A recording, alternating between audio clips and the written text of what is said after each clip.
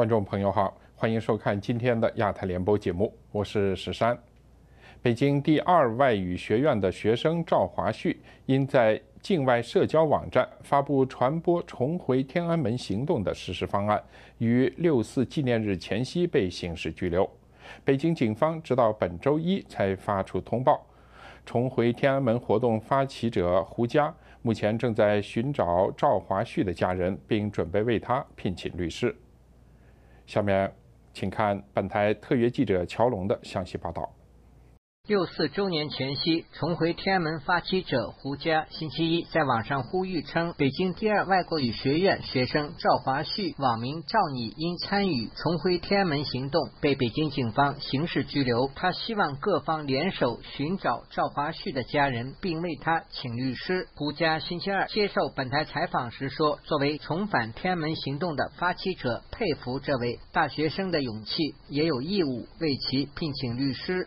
我首先是在调查他的家庭，因为现在必须得联络上他的家人，才有可能为他找律师。为什么说一定要为他请？因为实际上他是有个代表性的一个人物，因为他本身是九零后，现在对于那个年代的历史，基本上从教科书上是完全抹掉的。好，接下来关注一下其他的新闻。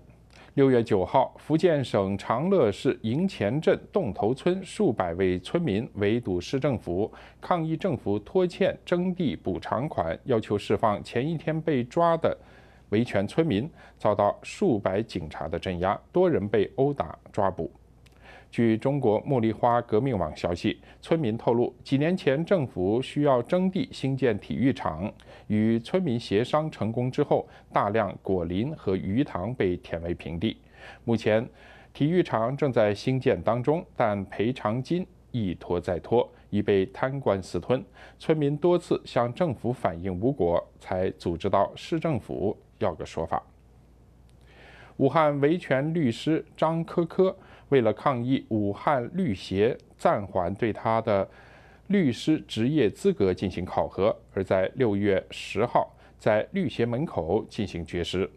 他接受本台粤语部采访的时候表示，律协以他代理法轮功案件为由对他进行打压。他相信该项决定背后是由司法局主导。他批评当局强奸法律及借律师考核制度打压律师维权。近日，申请到拉萨朝圣的青海等安多藏区藏人被当局拒发进藏许可证，藏民的居民身份证也不被认同。另外，印度新德里的流亡藏人抗议中国外长王毅到访印度，呼吁中方透过对话解决西藏问题，同时敦促莫迪提及西藏问题，但活动遭到印度警方制止。中国国务院六月十号公布首份“一国两制”白皮书，说港人治港是有界限和标准的，在香港引起极大反响。特首梁振英说，这与近期香港要举行的六月二十二号的全民公投以及七月一号的游行没有关系。据香港明报报道，全国港澳研究会副会长刘兆佳认为，国务院发表这个白皮书，反映中央。